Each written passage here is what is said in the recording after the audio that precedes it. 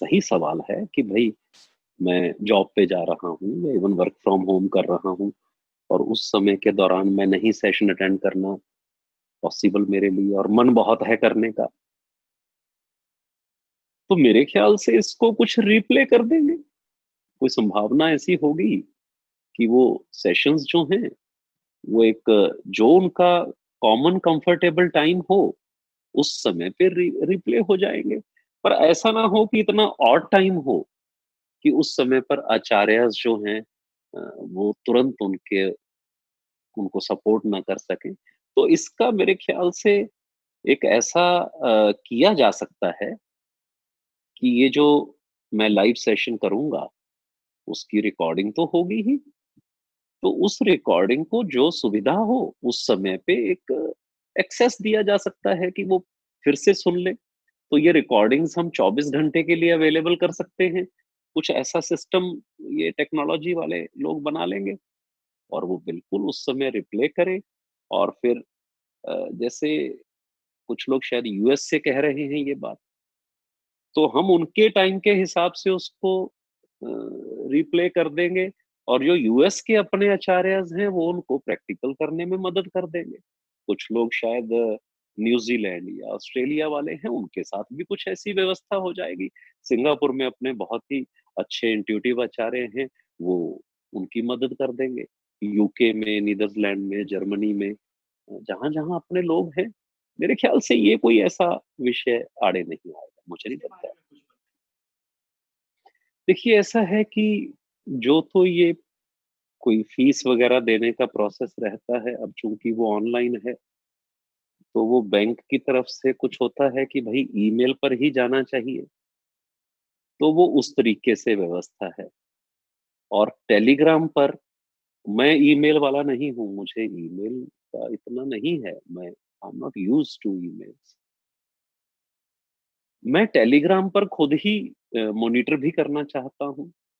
और मुझे जो मैसेजेस देने हैं प्री प्रिपरेशन के मैसेजेस देने हैं वो हम अभी कल से, कल मेरे ख्याल से एक तारीख हो जाएगी तो वो हम मैसेजेस देने शुरू कर देंगे।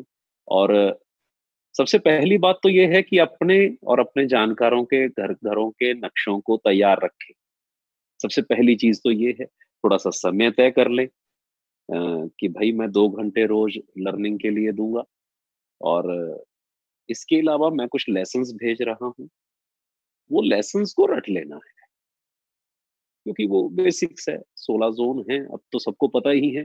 तो सोलह जोन के गुणधर्म क्या है? प्रत्येक जोन का फिक्स्ड एलिमेंट क्या है? पंच तत्वों के समीकरण क्या है? मैं और भी कुछ जो चीज़ों की जानकारी है, वो हम शेयर करेंगे टेलीग्राम ग्रुप में, ताकि लोग एक मनस प्रिपेयर हो जाए। डे वन कोई टॉपिक उठाएँगे, उस पर काम करेंगे। कोई भी एक टॉपिक जैसे मन को शांति कैसे मिले मन को मोटिवेशन कैसे मिले। आ, क्या वास्तु से मोटिवेशन मिल सकती है? अब वास्तु का मोटिवेशन से क्या लेना देना? पर अंग्रेज़ी का शब्द है ना तो वास्तु से क्या लेना देना? पर हमारे यहाँ तो सदियों से मंदिर बनाए ही इसलिए जाते थे कि आप अगर वहाँ चले जाएँ दो मिनट के लिए भी तो ऐसी प्रेरणा अंदर से आती थी। तो क्या वही कुछ उपचार घर में किए जा सकते हैं कि मन में हमेशा एक प्रेरणा बनी रहे सेल्फ कॉन्फिडेंस बना रहे स्पष्टता रहे विचारों की? तो मन की शांति से मन की स्पष्टता से हम लोग शुरुआत करेंगे और फिर धीरे धीरे एक एक टॉपिक को हम लेकर आगे बढ़ते चले जाएँगे। आ, सारे के सारे पक्ष जितने भी हैं भाई संबंधों का विषय है संबंधों के बारे में क्या किया जा सकता है? पर पहले देखेंगे कुछ करने की ज़रूरत है भी या नहीं। पता चला उपचार कर दिया उसी से संबंध खराब हो गए क्योंकि पहले तो अच्छे थे अब उपचार कर दिया तो कुछ उपचार ने भी तो करने ना भाई। पहले खराब करेगा फिर ठीक कर देगा। मेरा मतलब है ऐसा नहीं है पर आ, कुछ ऐसा जो जीवन के प्रमुख प्रश्न है जो मेरा अनुभव है कि प्रत्येक घर को सुरक्षित कैसे रखना है कैसे वहाँ पर सेहत ठीक रहे वो सारे टॉपिक हम इन सोलह दिनों में पूरे करवा देंगे बिल्कुल, बिल्कुल, हमारा एक पूरे दिन का सेशन है इस बात पर, हाउ टू इम्प्रूव स्टडीज़। कैसे वो रिटेन करें, उनका फ़ोकस कैसे बना रहे, किस प्रकार से उनकी पढ़ाई में परफ़ॉर्मेंस बेहतर हो, ये तो ऑलरेडी है ही।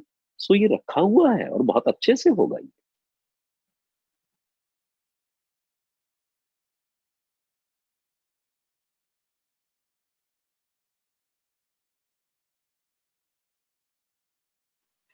ऐसा कुछ नहीं होता।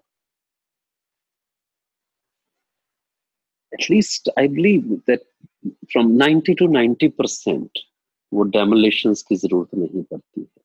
और यही तो महावास्तु की खासियत है कि बहुत छोटे-छोटे सरल उपचारों से वास्तु के रिज़ल्ट मिल जाते हैं।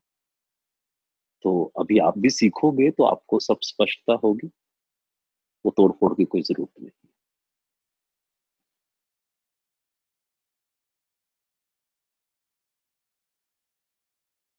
हाँ, वास्तु क्या है? सही। वास्तु अगर सरल शब्दों में हम इसको एक्सप्लेन करना चाहें तो वास्तु का अर्थ है वास करने योग्य स्थान।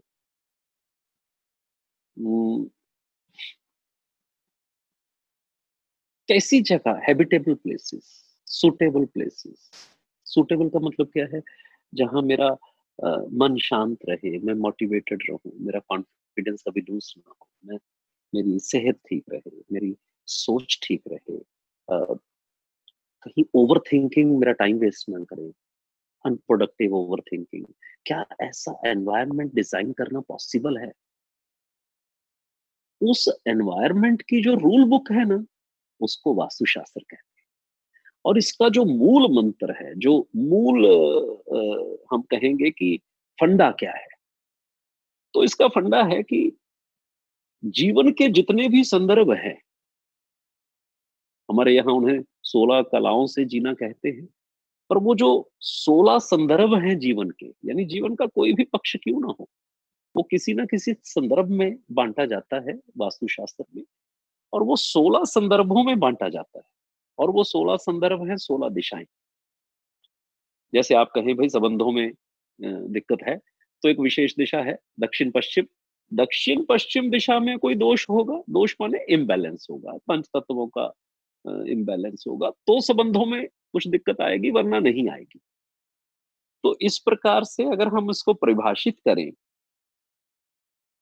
कि अच्छा जीवन जीने की के लिए कैसा वातावरण निर्माण करें, उसकी जो रूल बुक है उसको वास्तुशास्त्र कहते हैं और उसका मूल सिद्धांत ये है कि किस दिशा में कौन सी गतिविधि कौन सी यूटिलिटी कौन सा डेकोरेशन का सामान रखा हुआ है और वो किस प्रकार से वहाँ पर रहने वालों की सोच पर, व्यवहार पर, उनकी प्रोडक्टिविटी पर, उनकी लाइफ में जो परफॉर्मेंस है, उस पर और उनकी इमोशनल स्टेबिलिटी पर वो क्या इम्पैक्ट डाल रही है चीज़ें उसके अध्ययन को वास्तुशास्त्र कहते हैं।